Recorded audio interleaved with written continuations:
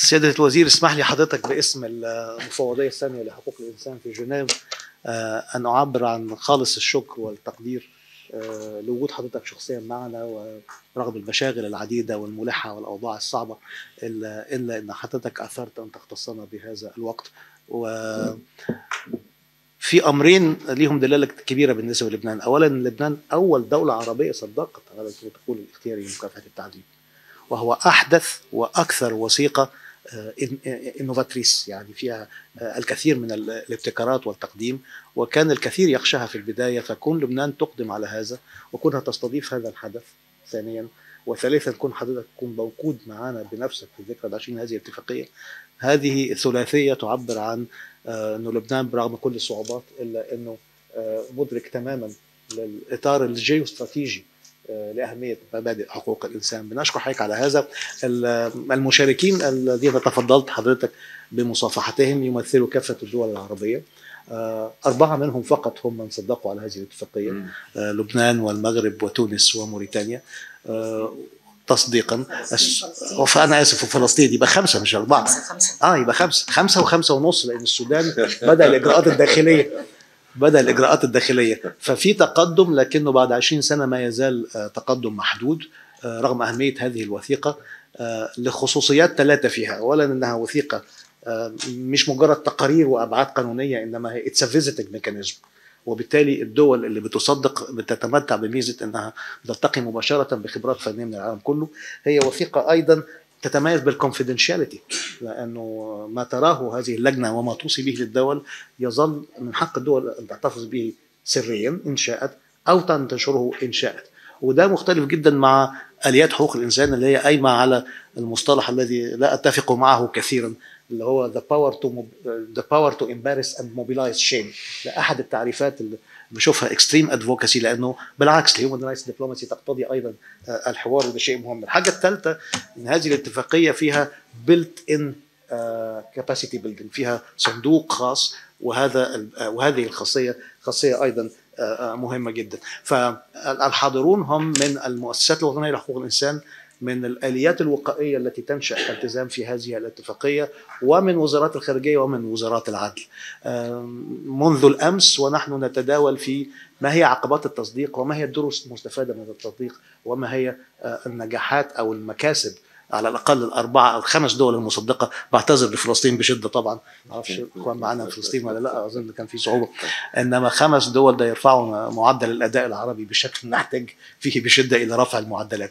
كلنا تشوق لسماع ملاحظات حضرتك وبعدها هيكون عندي بعض الملاحظات الختامية إذا حضرتك اذنت تفضل لا يعني اللي فهمته منك ماشيين بالتقسيط يعني لا, لا أكيد أنا كان بودي إنه اكون حاضر من بدء المؤتمر ولكن ظروف كثيرة كثيرة اعترضت حضوري وخاصة بهاليومين اللي مضيوا بسبب قدوم وفود أوروبية لمعالجة أو لمتابعة ملفات دقيقة جدا جدا.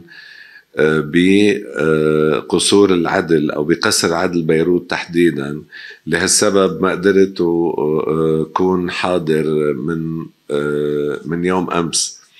ولكن أكيد بدي أحيي بشكل كبير جدا المؤتمر اللي ما فيه من أهمية وضرورة في هذه المرحلة الدقيقة التي يمر بها لبنان والجيران وجيران لبنان والمنطقة كلها بالنتيجة. بس بكل الأحوال سيبقى لبنان المساحة والمجال الرحب لتنظيم هذا النوع من المؤتمرات وهو منذ القدم الحاضن والراعي والمشارك في هذه المؤتمرات والندوات التي تحافظ على الحقوق والحريات الأساسية وخاصة حقوق الإنسان. اللي الكل عم بيتمسك فيها بهالأيام لسبب أو لغير سبب. صراحة صارت وكأنه عملة متداولة إنما بالفعل هي لازم تكون عملة نادرة حقوق الإنسان والتمسك فيها يجب أن يكون سامي كما المفوضية. آه، السامية لأنه لازم يكون تعاطي آه، مع حقوق الإنسان على مستوى معين آه، على الصعيد العالمي والدولي يعني. ولبنان من الأوائل والسباقين إلى الانضمام إلى المعاهدات الدولية التي تنظم وتحمي هذه الحقوق و في النهاية مرة جديدة أكيد بدي رحب آه، بكل فرد من آه، الموجودين آه، وبرجع بقول لكم إنه كنت أتمنى أن أكون بينكم منذ أول دقيقة لانعقاد هذا المؤتمر. بدي أشكر كل من نظم وشارك وساهم ورعى هذا المؤتمر القيم آه، آه، أكيد آه، بدي شيء طبيعي نطلع على ما توصل إليه وبكل الأحوال أنا مدرك تمام وعلى يقين إنه ما توصلتم إليه قيم جدا ومهم جدا وإن شاء الله الجميع يلتزم فيه ولبنان بالطبيعه بالطبع رح نلتزم فيه. هذا اللي فينا نأكد لك إياه. ويعطيكم العافية. آه وإن شاء الله ما أكون أخرتكم لا اليوم ولا غير غير وقت. بالعكس يا فندم إحنا كنا بالضبط توقيت حضرتك كان بالتحديد مع بداية حصاد الأفكار البازغة من هذا. فإذا اذنت لي حضرتك هناخد 10 دقائق آه إذا كنت حضرتك أنهيت كلمتك. آه، خلاص إيه. آه, آه هناخد عشر دقائق في إني أعرض على حضرتك وعلى المشاركين ما أسميه آه emerging action points. هي ليست نتائج متفق عليها بعد حتى يطمئن الجميع أننا آه، ليست لدينا نتائج سلفا. وإنما هي مجموعة من الأفكار تصب في هدف إعداد استراتيجية لتعزيز التصديق ورفعه من خمس دول إلى أعلى عدد ممكن من آه، الدول العربية. آه، الاخوان من الأمن الوطني لسه قايله اخونا ربيع الملاحظة قبل ما تيجي على طول كانت في غاية الأهمية ألا وهي إنه من النتائج المباشرة للتصديق على هذا البروتوكول هو إنه الجهات الوطنية لما بتعرف إن في زيارات دورية لخبراء دوليين بتبدأ هي نفسها تعمل auto regulation وفي في صميم عملية ال auto regulation القواعد الدولية من صيغتها المجردة بتبتدي ت trickle down وتتحول إلى قواعد adapted and contextualized للواقع الوطني. آه هذه القواعد بالقطع تختلف في جهاز الأمن الوطني اللبناني عنه في أي جهاز أمن وطني في أي دولة عربية أخرى. فاستظهار المنافع ده من أهم النقاط اللي إحنا آه، آه، تداولنا فيها فهدفنا إعداد استراتيجية وأنا هقول بعض النقاط اللي كانت بازغة من الحوار آه، داعيا اولا سوزان first إنها تكمل بعض النقاط بالإضافة اللي انت استخلصتيها ال take away الشخصي بتاعك من هذا. وإحنا وبعد كده طبعا آه، زملائي من المفوضية هطلب منهم آه، لمن أراد انه يزود بعض نقاط العمل الممكنة من واقع الحوار منذ الأمس. وبعدين هنبعتها لحضراتكم في شكل non-paper مجرد bullet points possible action points بهدفين. الهدف الأولاني أنكم تستخدمونها وطنيا كيفما تحبون وقتما تحبون. أجيد مع ال contextualization زي ما ربي ادالنا المثل للواقع الوطني في كل دولة عربية. تستخدمونها أيضا ك talking points ودروس مستفادة من هذا اللقاء الإقليمي الأول من نوعه في محاولة حث دولكم على التصديق. آه، إذا ما وجدتم عشان كده كان سؤالي قبل قبل ما شرفنا معالي الوزير هل وجدتم في حواراتنا منذ الأمس شيئا جديدا يساعد أكثر على to آه، accelerate أو التعجيل بالتصديق الوطني آه، أم لا. فأدي أول استخدام للنقاط اللي هقولها والزملاء من المفوضية هيصيغوها ونبعتها لكم وشيكا. مرة أخرى ليس لاعتمادها فهي ليست وثيقة تلزم احدا. هي وثيقة هي هي peer to peer learning هي تعلم النظراء من تجاربنا كلها وكيف نوظف هذا التعلم على المستوى الوطني في تحقيق التصديق على الاتفاقيه. فأول نقطة أنا بزعم من ال notes اللي أنا اخذتها كما قلت هبدأ بيكي سوزان وبعدين زملائي من المفوضية كلهم هي إنه هناك قبول جماعي لفكرة إنه تف... إنه إنه الآليات الدولية هي في الحقيقة أدوات إصلاح وطنيه. وإنها ليست شيئا فوق الدول وإنما هي في الحقيقة شيء بين الدول. وإن معارفها مستمدة من المستوى الوطني وبالتالي تحقيق النفع منها يكون بتغيير مهم جدا بسميه الأول شيفت ألا وهو الشيفت من آه، التلقي السلبي من الآليات إلى التفاعل الإيجابي معها. هذا الشيفت يقتضي ودي كلها عناصر ممكنة للفعل والاستراتيجية يقتضي تطوير الخبراء الخبرات الوطنية كلنا على حدة. إنه بناء برنامج بناء القدرات يتلقى من حضراتكم آه، وبالتعاون مع خبراء ال SPT ت tailor أي برامج تعزيز قدرات وطنية ترونها. الحاجة الثانية تعزيز التعاون بين حضراتكم بمعنى إنه خلال السنة القادمة 2023 ننظم عددا من الأنشطة هقول رؤوس أقلامها من واقع مقترحات حضراتكم بعد هذه النقطة المبدئية. الحاجة الثالثه إنه مفهوم ال capacity building يتبنى أكثر فأكثر تعلم النظراء أكثر منه نتائج مسبقة أو كود أو guidelines جاية من أعلى إلى أسفل. حقيقة الأمر أن المعرفة آه، تصعد من من اسفل إلى أعلى. أسفل وأعلى ليس بمعنى القيمة بمعنى الجغرافيا الحقيقي. آه، الحاجة الرابعة والمهمة هي أهمية ال digital shift. آه، عدد منكم تحدث عن أهمية الاتصال بالفاعلين الحقيقيين على المستوى ال grass root level وإنه هؤلاء ليسوا هم من يستطيعوا الحضور المؤتمرات ولا السفر بالطائرات ولا النزول في الفنادق. مهما أوتينا من موارد مالية وهي في تناقص كلنا يعرف هذا على كل المستويات لن نستطيع أن نصل للفاعلين الحقيقيين اذا مسألة ال digital uplift أو استخدام الآليات ال digital tools والتكنولوجيا وزملائي من المفوضية عرضوا بعض النماذج وبعض الأدوات اللي إحنا بنسعى للاستثمار فيها فدي أربع آه، آه، محاور للتغيير المطلوب حتى تتحول العلاقة بين الدول وال SPT والآليات حقوق الإنسان الأخرى من علاقة تلقي إلى علاقة تفاعل. النقطة نقطة العمل الثانية هي إنه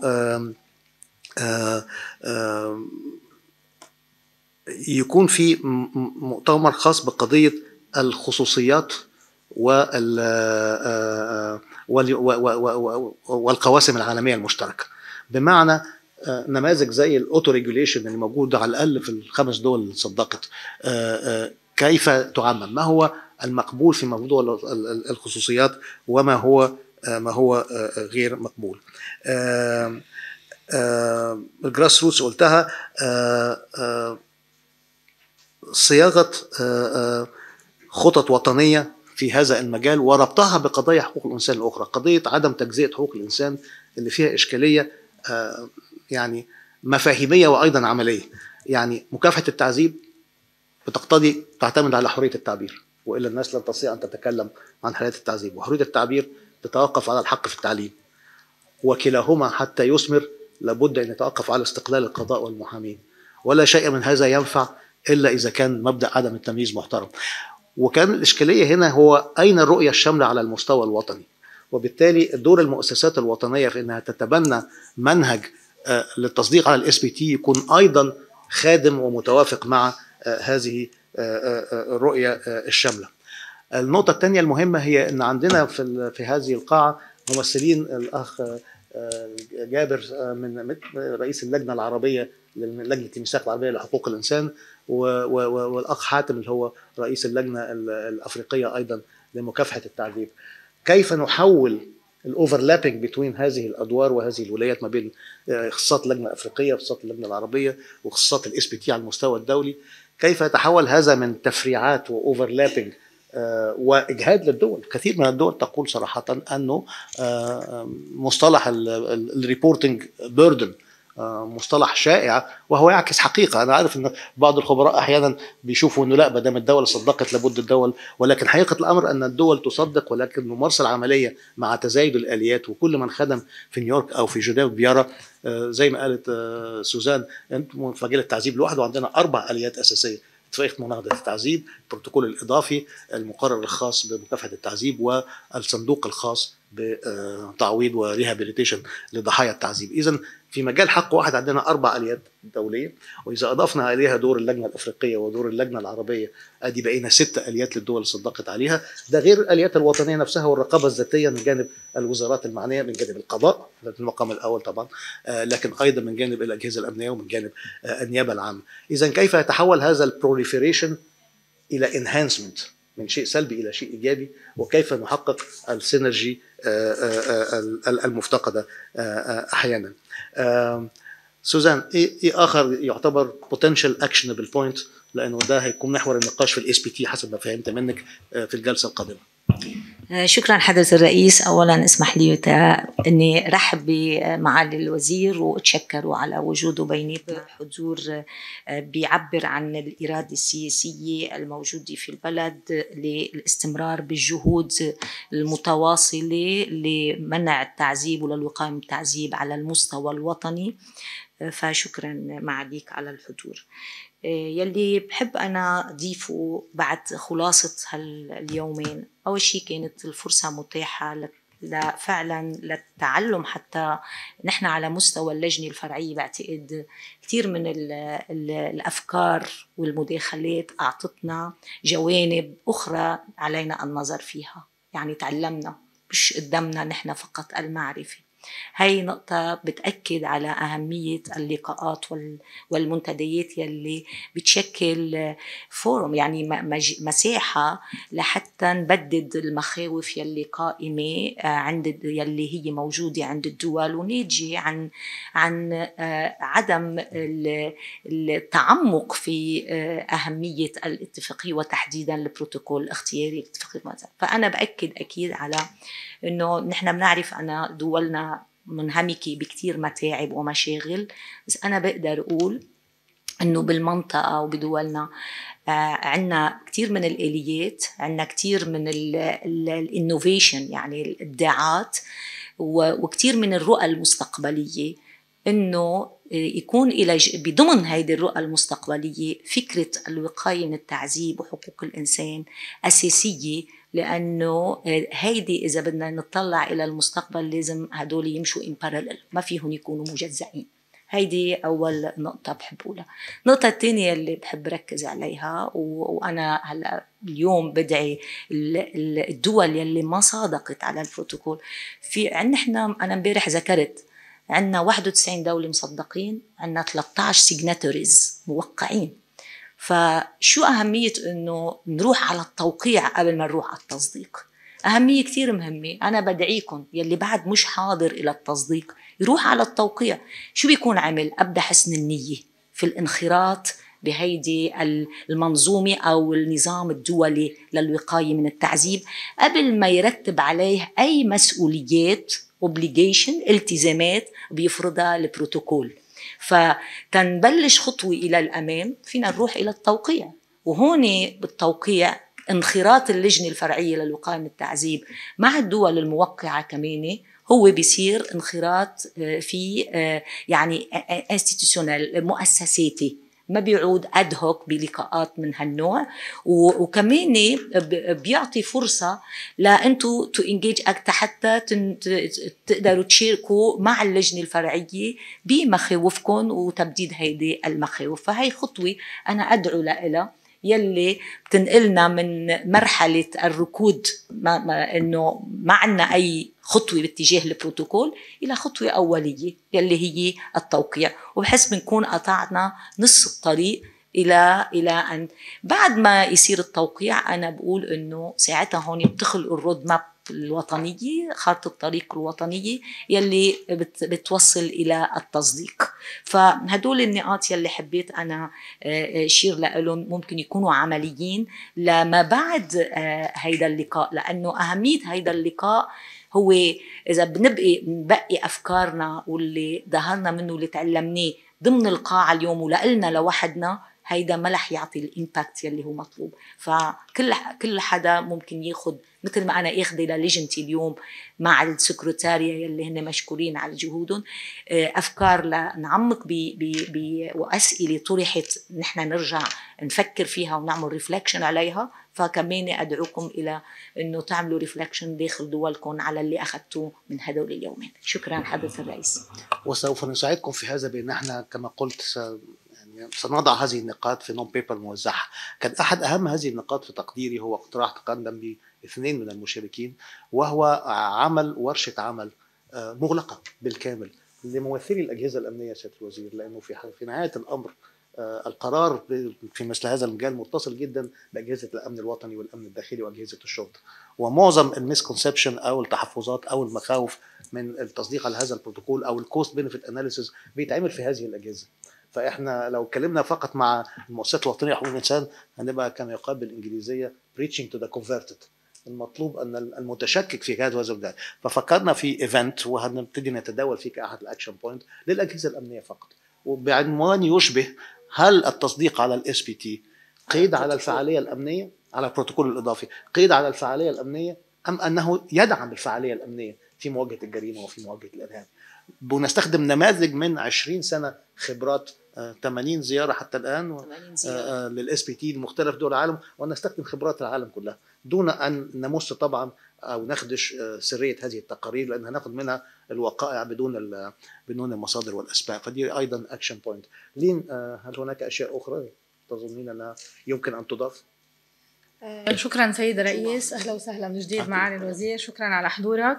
كان في نقطتين دكتور سلامه أنا كمان يعني هن كي findings معنا اليوم. صار في طرح إنشاء شبكة من الخبراء العرب السابقين لحتى هن كمان يكون يقدموا خبراتهم يلي استقوها من خلال عملهم المؤسسي على فترة طويلة وقدموها للدول. لحتى كمان يساعد هذا الشيء بموضوع الانخراط أكثر مع الآليات الدولية لحقوق الإنسان وبشكل خاص كمان مع ال SPT أو اللجنة الفرعية وال optional protocol مقترح تاني كمان من الحضور كان هو إنه العمل أيضا مع مؤسسات المجتمع المدني يكون في صياغة لاستراتيجية للدعوة advocacy أو للمناصرة من بالاشتراك يعني مع ال SPT والمفوضيه وأيضا مؤسسات المجتمع المدني والشبكات الخاصة بالمدافعين عن حقوق الإنسان. يكون في استراتيجية للدعوة والمناصرة باتجاه المصادقة والتوقيع أيضا على البروتوكول الاختياري. يعني هذا الشيء اللي بحب ضيفه سيد الرئيس. شكرا. جواو هل لديك أي أفكار أخرى سقطت منا في هذا العرض؟ وماري إيف أي شيء تضيفونه؟ المشاركون أي شيء كبير قيل ويصلح كبداية action point هل لكم أي إثراء لهذه القائمة التي ستصلكم؟ action points بالتحديد. أشياء لم نفعلها من قبل وتظن أنه من المفيد أن نفعلها لتعزيز فرص التصديق على هذا البروتوكول. تفضل فندم. كنا مصدر قدم حضرتك نفسك يبقى كتر خيرك. سالم الشعيري من اللجنة العمانية لحقوق الإنسان. إحنا سعيدين اليوم بهذه الفرصة. وهذه المشاركة بحضور السيد وزير العدل فإذا يمكن إضافة يعني ما سميتها سيدي هل هي توصيات أو نتائج على إنه دعوة المؤسسات الوطنية أو المجالس حقوق الإنسان في الوطن العربي إلى يعني التفك... التوعية والتثقيف بأهمية يعني الالتحاق والانضمام إلى هذا البروتوكول. ليش؟ لأنه بعض الدول ينقصها الخبرة أو تنقصها يعني اللي هي البنود المتعلقة بهذا البروتوكول. ومثل ما تكلمنا في الصباح أو تكلموا الإخوة المتحدثين أنه هناك بعض أو كان الحديث اليوم أو أمس أنه بعض الدول أو الأجهزة تتحفظ خوف من يعني بعض المواد الواردة في البروتوكول. ولكن مثل ما أشرتم على أن هذه المواد هي في الحقيقة رافد لتعزيز جوانب الأمن الوطني في الوطن العربي. فإذا يمكن على أنه توصية تكتب على إنه تشجيع اللجان الوطنية أو مجالس حقوق الإنسان في الوطن العربي بالتوعية والتثقيف في هذا المجال وشكرا.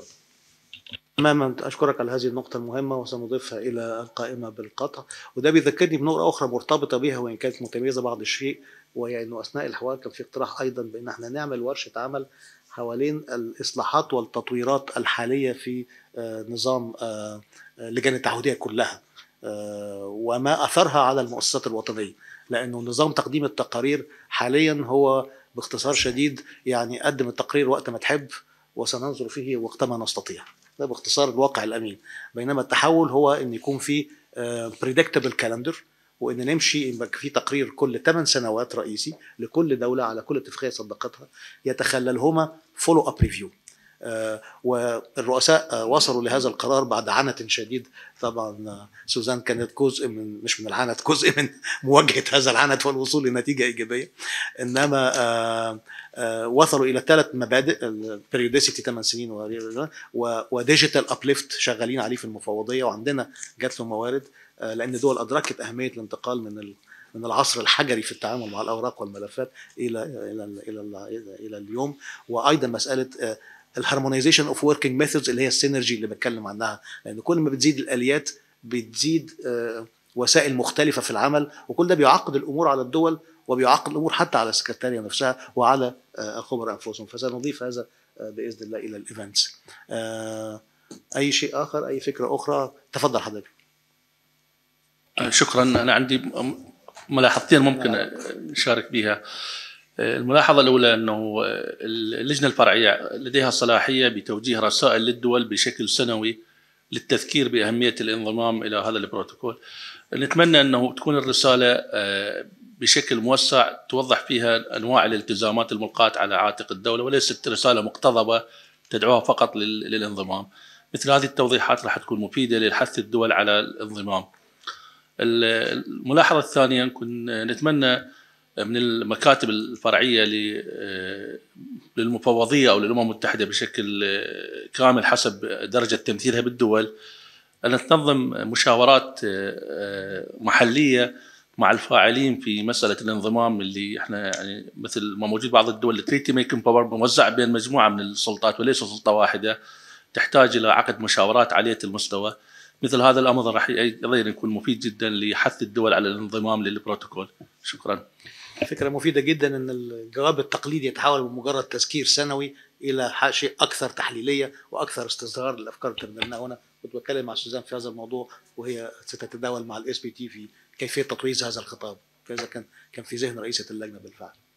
أه تفضل فضل. مداخلة بسيطة. أه أه جابر المري رئيس لجنة حقوق الإنسان العربية لجنة الميثاق. آه، بإذن الله في الفترة الجاية إن شاء الله في هذا العام سوف نعمل ندوة وندعو فيها جميع الدول المصادقة على الميثاق العربي حول البروتوكول الاختياري لمكافحة ومناهضه التعذيب بإذن الله إن شاء الله. هذا شيء مفيد جدا. ونحث في هذا نحث الدول على الانضمام. عظيم هذه أيضا ستضاف إلى نقاط الفعل المحتمل المقرر ليس المحتمل. آه، أي ملاحظات أخرى أو أي مقترحات أخرى إلى هذه القائمة.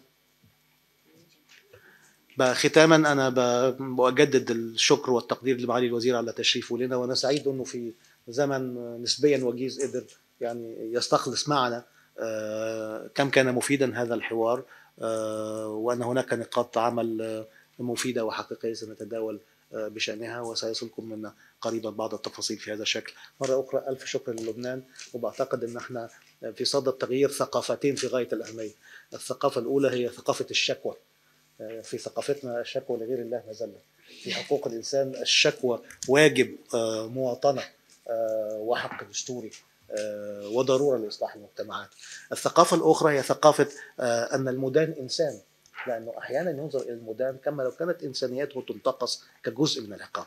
فهذه التغييرات الثقافية ولذلك أحد الأفكار اللي اتكلمنا عنها برضو مع آه، إخواننا من اللجنة الأفريقية هو مسألة آه، آه، كيف نستخدم أدوات متعددة ومتنوعة في تغيير هذه الثقافات مش فقط من واقع الأبروتش القانوني وإنما المداخل الثقافية للتغييرات القانونية إذا شئتم معالي الوزير.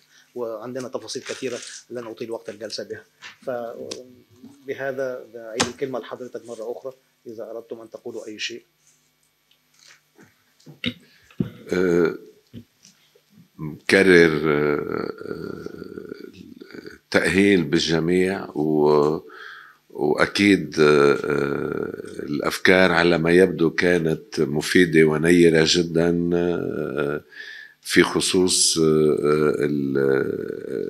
موضوع المؤتمر والنقاشات اللي دارت حوله. وما في إلا أنه شد على إيد الجميع و ويبدو أنه البرنامج طويل والعمل شاق والطريق طويلة كمان يعني على ما يبدو. آه، آه، ما في إلا لكم أشكر الجميع على حضورهم إلى آه، لبنان بلدهم الثاني أكيد. وأهلا وسهلا فيكم. وإن شاء الله إنه النتائج أو الأفكار اللي طرحت كلها تعطي أو تؤتي ثمارها آه، آه، كما نتمنى أو كما يتمنى الجميع. وحفظ الله الجميع. أكيد الشكوى لغير الله مزلة بالنتيجة ربنا قديش بده يسمع شكاوى يعني.